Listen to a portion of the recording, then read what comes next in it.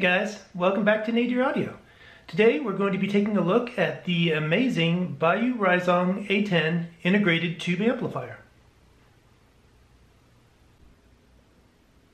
Alright, so I've actually been interested in tubes for uh, quite a long time, but my first experience with them was way back in the early 90s and it actually was with a guitar amplifier.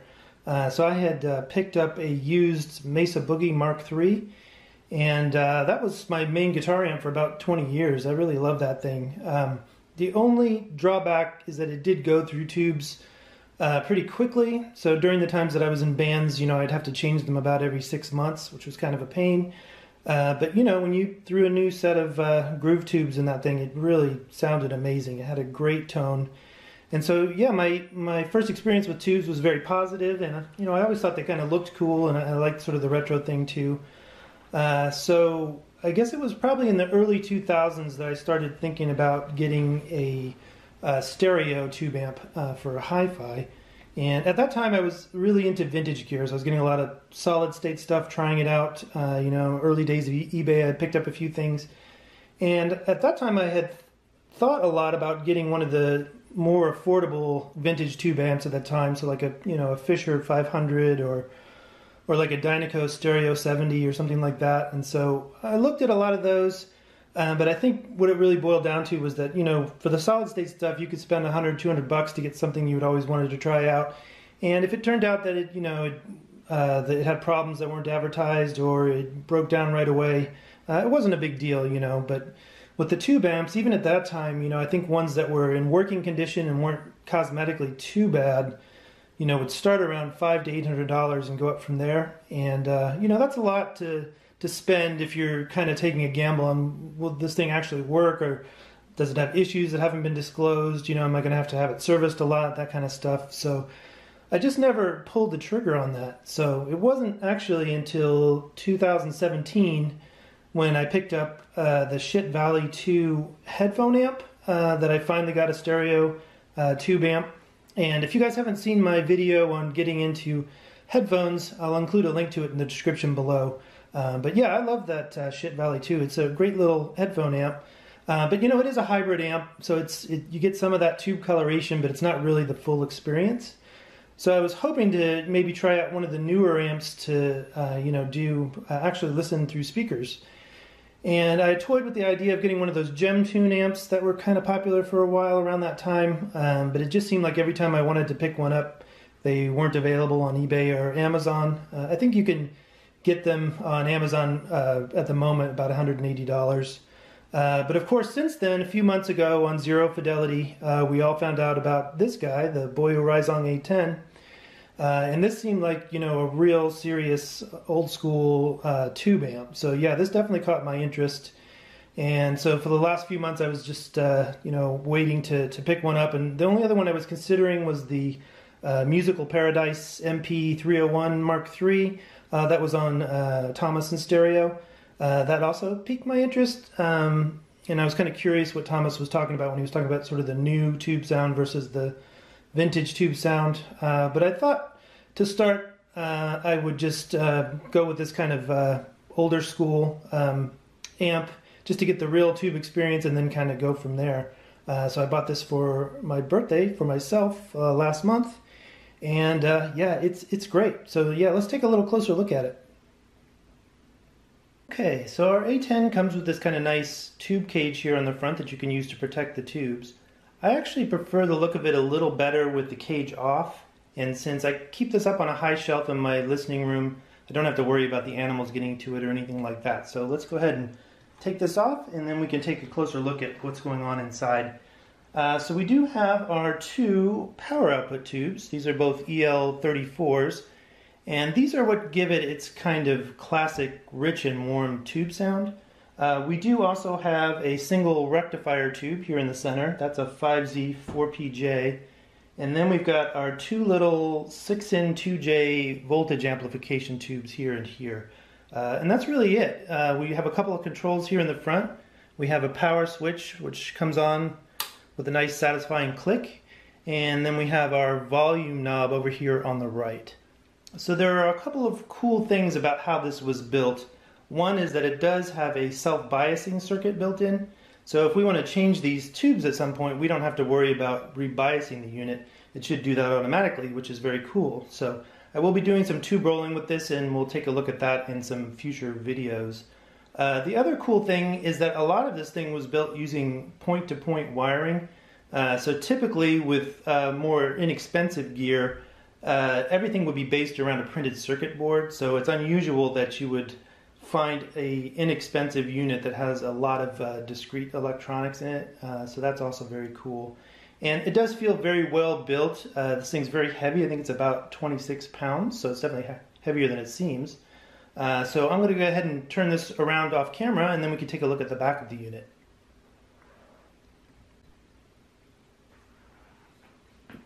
Okay, so as you can see over here we have just uh, two separate inputs. One's labeled auxiliary, the other one's labeled CD. And then there's a switch on the back here that you can use to select one or the other. So uh, we're only going to be using uh, one input here, uh, the auxiliary and I'll show you guys how I have that set up in my main system here shortly. Uh, and then we just have our jacks for the speaker connections. Uh, so we have uh, these two here are the grounds, uh, so we can plug our ground into that. And then because this is actually a tube amplifier and we have output transformers, uh, we actually have two separate uh, positive terminals here uh, for uh, different impedances. So we have a 4 ohm and an 8 ohm. Uh, and I'm using 8 ohm speakers and all the listening I've been doing so far, so we would connect ours uh, right here like this. Uh, so a lot of times with these lower end tube amplifiers, there will just be one set of jacks and they'll just make it 6 ohms, so kind of split the difference. So it's kind of nice that this one has been designed so that you can get 4 or 8 ohms with a separate connection. Uh, and that's really all there is to the back. So let's uh, go ahead and take a look at this uh, in my main system. So I did want to mention that this thing came pretty well packed. It was double boxed. It had a lot of extra packing material and the tubes themselves came in individual cardboard boxes, but they had a little bit of padding in each one. And then those were inside of the tube cage, which was attached to the amplifier. So everything was pretty tightly packed in there and wouldn't move around during shipping. So if you were concerned about it being shipped, uh, it's probably not something you have to worry about uh, so much. Now you can get these directly from China Hi-Fi and save a little bit of money, uh, but I actually ended up getting mine from the Tube Amplifier store on Amazon. Uh, so the advantage there is you can get it a lot quicker, and if you do have a problem, you can send it back to them and they'll just send you another one instead of having to get it repaired, uh, which was nice. And also, I have an Amazon Prime account, so I was able to get the free shipping, so that saved a little bit. Um, so you could probably go with either option, and it would work out just depending on how much you want to spend and and the convenience level. Um, but yeah, we have um, our amp set up here in the listening room and we're running into the auxiliary on this uh, straight from this vintage Mitsubishi receiver which uh, I'm using as a tuner and then I'm using it as a source selector uh, for other stuff. So the auxiliary on the Mitsubishi is connected to our Schiit Modi 3 DAC over here and then running into this we have a CD player. I just have this uh, inexpensive Onkyo CD player which is fine as a transport. I'm not crazy about the DAC that's built into it, which is why we're using the Modi 3. And then we have my MacBook Pro over here, which we're running into the Modi 3 as well. Now I, I do actually have my turntable set up as well, but it's running in directly into the Mitsubishi. So I haven't really done any vinyl listening because it's, while it's a fine phono preamp built into this thing for a vintage piece, it's not nearly as good as the one in the Sprout, which is what we're normally listening to in here. Uh, so I didn't really want to spend a lot of time with that until I have a good external phono preamp to use. Uh, so for all the listening I've been doing, it's just been uh, the radio and CDs and listening from my MacBook. And then for speakers, we're using my KEF LS50s, uh, which are the main speakers I use here in my listening room. Now you wouldn't expect these to be a great combination because the amp is fairly low power. I think this is 6 watts per channel And these are pretty inefficient speakers. I think they're 85 dB sensitivity at 1 watt. Um, but that being said, they actually work surprisingly well, uh, much better than you might think. Now, you're not going to be able to get them super loud or, or you know, rock a party or anything like that, but they get plenty loud for doing the kind of uh, listening that I do here in this room. Um, got kind of a midfield, near field setup going on in here, uh, and it works great for that. It gets as loud as I, I want it to be, um, but it also just this combination just sounds really good. Now, for the amp itself, uh, I guess I was sort of expecting this thing to have a bit of an A curve, uh, kind of like a, more like a, some of the vintage stuff I've heard in the past.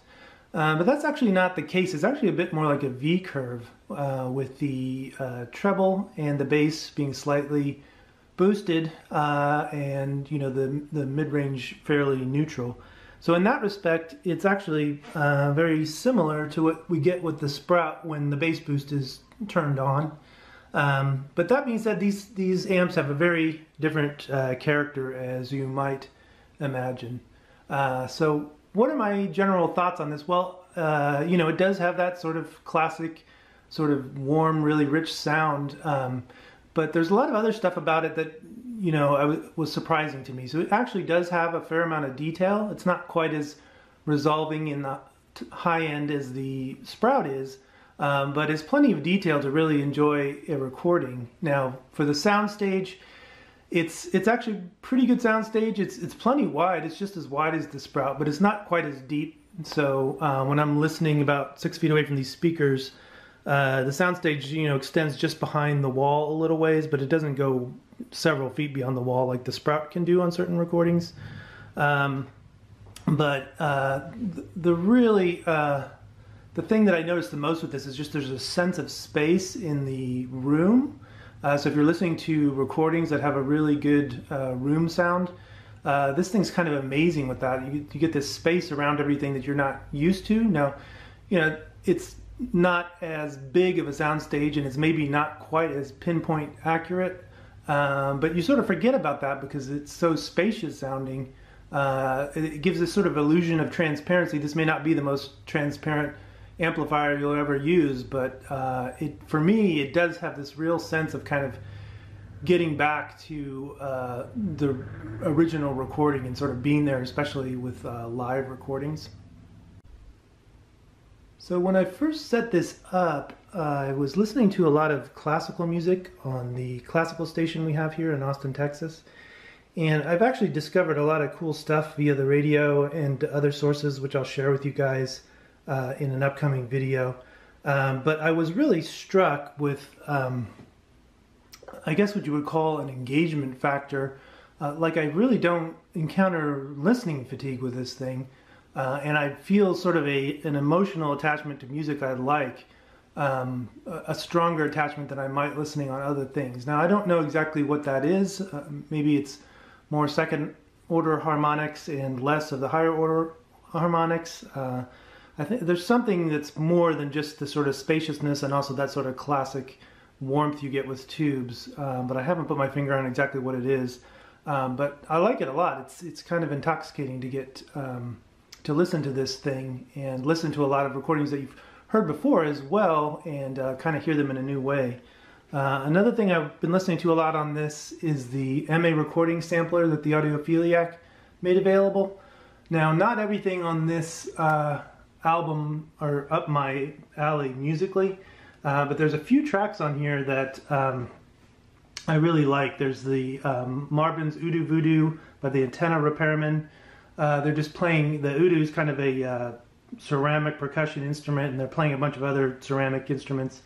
It's just a very cool recording, but with this setup, it's just, there's just a sense of the room and sort of the that kind of ringing of the ceramic, and there's there's just a realism to it that um, I really like that I couldn't quite get. Now on the Sprout, you might hear a little bit more detail uh, on textures and things, but I don't know. There's just something about this amp where it really kind of sounds great. Uh, there's a lot of other great tracks on here. Uh, the track Gears by Mark Nauseef, uh, where he's just playing drums. That sounds amazing. You get this great room sound. It's really cool.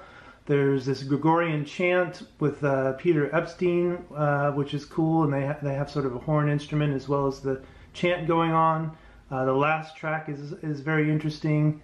Uh, there's also this uh, Michel Godard uh, track, which I like a lot, where they're using sort of a, a really old school um, horn instrument, I think called the Serpent. Uh, so if you haven't checked this out, I'll include a link to the video that Steve Guttenberg made about that. But you definitely want to check it out. I mean, these recordings are, sound better than any recordings I've ever heard. It sort of whet my appetite for checking out other really serious audiophile recordings. Um, but I have listened to a lot of other stuff. Uh, so let's see. I listened to, um, I pulled out my copy of Jazz Samba by Stan Getz and Charlie Byrd. This is probably the first jazz, it's definitely the first jazz album I ever got into. I first heard it in the 70s when I pulled it out of my parents' record collection. And one of the things that always struck me about that recording is that not only is it a good recording, but it has a really great room sound. It's like that was recorded in a church and so that just kind of struck me as, oh, hey, I, I want to check that out on this. And yeah, it didn't disappoint. Uh, it actually, uh, on this and the LS50 sounded better than I'd ever heard it. It's just, uh, uh, it's kind of like rediscovering the recording. And it's a really amazing sounding recording. Uh, let's see, see, I also listened to, uh, you know, Time Out by Dave Brubeck. And all you audiophiles out there are probably sick, sick to death of that recording. Uh, but I still like to listen to it on occasion, and it is a really great sounding recording. Um, I listen to a lot of other stuff, other genres. I listen to 17 Seconds by The Cure, which is one of the, my favorite albums from the 80s. And that's not a great recording, but it, it is actually a very good recording. And I feel like this thing really kind of helped pull out that really cool atmosphere that that album has. And you know, honestly, I'd say uh, listening to it on this uh, system, it probably sounded better than I'd ever uh, heard it before. So that was really cool. Um, I did try to listen to some uh, heavier stuff, some heavier electronic, and some uh, rock, hard rock, classic rock. You know, so I did listen to all of Led Zeppelin 2 on this thing, and uh, it's interesting. It actually works it works a little bit better than uh, the Sprout does with the LS50s. Now the Sprout can rock out. Um, it just it's just not my favorite amp with the LS50s. It worked really well with the ELAC B5s I had before, and I want to try it out with some other speakers. Um, but it just for classic rock, it just sounds more correct. There's just something about it where you can get into it more. It sounds like it, it sounds the way it's supposed to sound in a sense. Now, with that being said, you know th- this setup with these speakers doesn't have great dynamics, and it can't get really loud, and so it's it's not muscular enough that you, it's going to be the best you've ever heard recordings like that. Um, but it was surprisingly good, and, and I actually did like it better again with than the Sprout with the LS50s. Uh, so I've been listening to all other kinds of things. You know, I'm still exploring. I've just been listening to this for a few weeks. I'm going to continue to explore it. Uh, I think in general that I'd like to keep this in this room. I actually think it sounds really good in this room with the LS50s. You know, we will explore other speakers. I do have other more efficient speakers. I have some different Klipsch speakers that we'll try it out with. Um, but I do, I think what I want to do in this room is, for now at least, is keep the, the tube amp in here. Uh, and then have a setup where I can switch between the tube amp and another kind of more muscular amp. So I think I'm going to move the Sprout into one of my setups in the other room and then maybe get uh, you know kind of a kind of more heavy duty class AB amplifier, something like a Schiit Vidar, or uh, you know maybe that um, Outlaw Audio uh, receiver. I can't remember the RR 1060 or something like that. Um, and you know, I, I, I, have the feeling that uh, these LS50s can get the lead out. I think it's just uh, you need some kind of beefier, maybe class AB or or maybe just a higher end Class D uh, amplifier to do that. Um, but yeah, the tube amp, uh, I love this thing. It's definitely a keeper. I'm, I'm interested in exploring a lot of other recordings I have with this thing, and we'll try it out with other speakers as well. And we'll do some tube rolling in the future. And uh, yeah, I think there's there's a lot that we're going to do with this thing. I'm very happy I bought it. Uh, thanks to uh, Zero Fidelity and Steve Guttenberg for featuring this. Otherwise, I probably would have never heard of it. Uh, and yeah, I think that's it for this one, guys. Uh, thanks for watching. I'll see you in the next video.